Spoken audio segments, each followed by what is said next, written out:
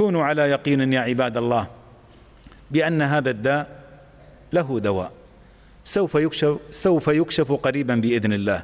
ففي الحديث النبوي يقول عليه الصلاة والسلام ما أنزل الله داء إلا أنزل معه دواء. علمه من علمه وجهله من جهله إلا السام.